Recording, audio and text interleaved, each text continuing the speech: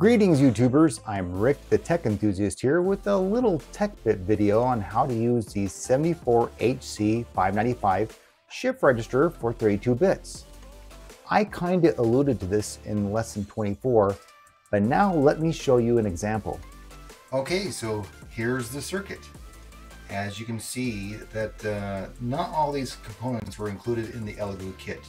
For instance, I had to buy a much larger breadboard and I had to buy some additional shift registers and resistors and a bunch of these 3 millimeter LEDs. I had some 5 millimeter LEDs that we're trying to use but it just got too crowded down here so we just so I just went ahead and replaced those with the, the 3 millimeters that I purchased. What was included is this Elegoo um, breadboard power supply obviously the Elegoo Uno R3 board the, re the regular jumpers, but these little pre-made, prefabricated uh, little jumpers, those I purchased also. Uh, they just make the board uh, a lot neater and cleaner. So what we have here is the power supply breadboard, or the breadboard power supply, and they're both set up, each of these little jumpers here for 5 volts. So these rails over here are running at 5 volts. What I have here off of the USB port is it's feeding the Elegoo Uno R3 board. And then we have the regular jumpers that were we used before in lesson 24, which I believe is the DS pin, the latch clock, and the registry clock, or the register clock. And we just jump those over to the first register. So this is the first register, the second register, and the third and the fourth.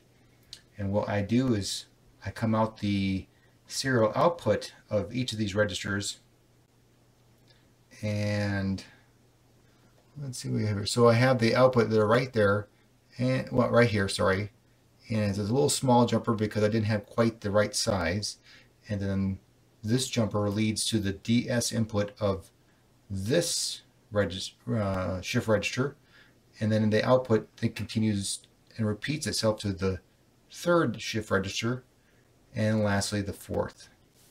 The latch clock and register clock, those are jumpered back over in this part of the board. And what I do is I just uh, kind of repeat these to jumper and uh, well parallel connect all these register shift registers together using the same latch and register clocks.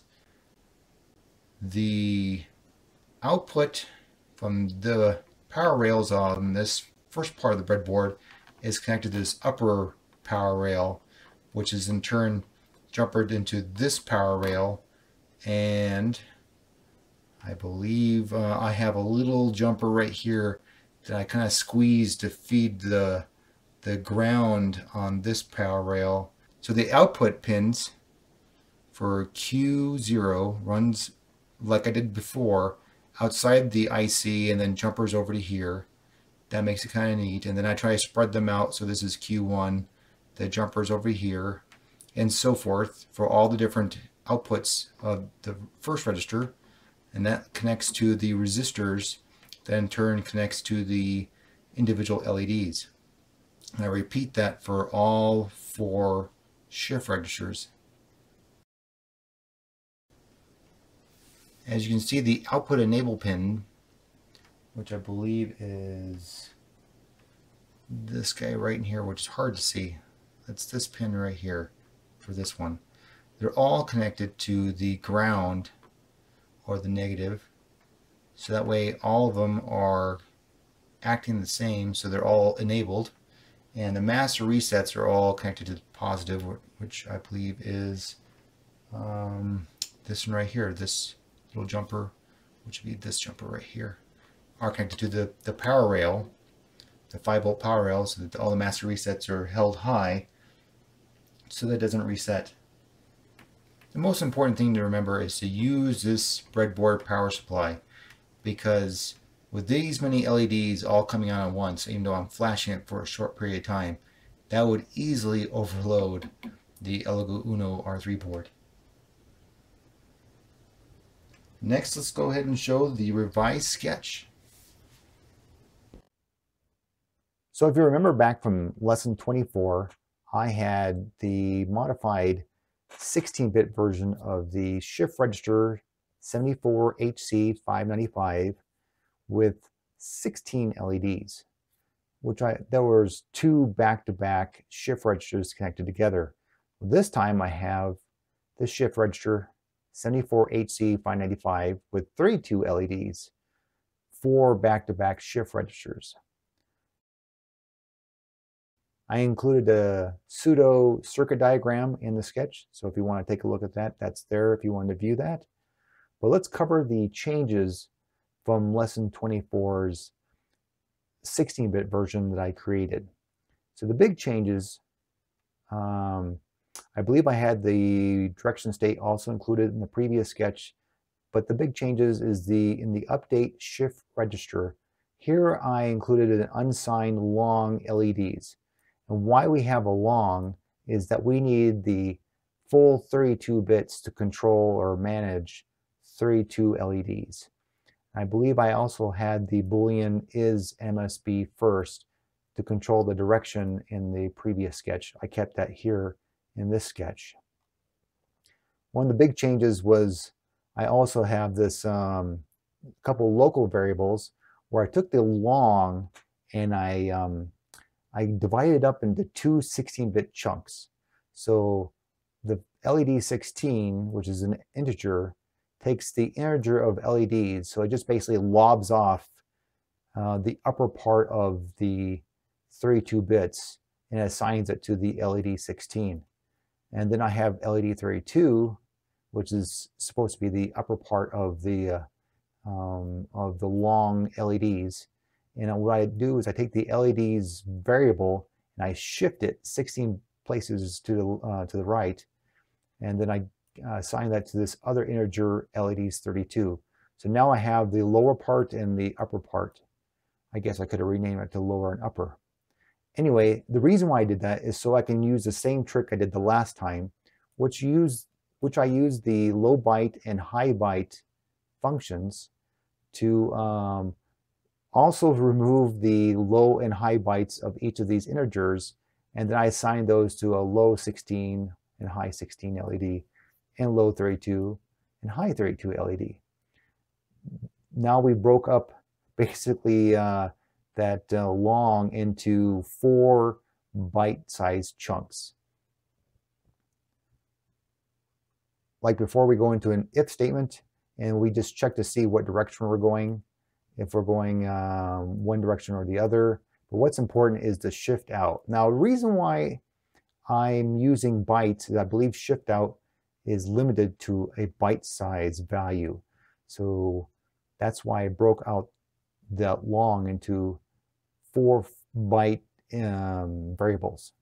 So anyway, we send off the byte value for the first part, which would be the lowest part, and then the upper part of that low, uh, of that low part, and then the basically the low part of the high part and the high part of the high part, and that sends it off the serial pin to the shift register, and then that just leads it through the output to the input to of all four until all four are filled up with the with the full 32 bits of of information. And what once that is done, we'll do the digital write and set the latch pin to high so that those values are then um, uh, carried over to the actual LEDs and outputted out. The void setup hadn't changed, so we'll keep that the same, and we'll go on to the void loop. The void loop did change as well. So what changed here is we had this unsigned, this local variable unsigned long LEDs. And I'm showing it here as the 32 bits which represents the 32 LEDs.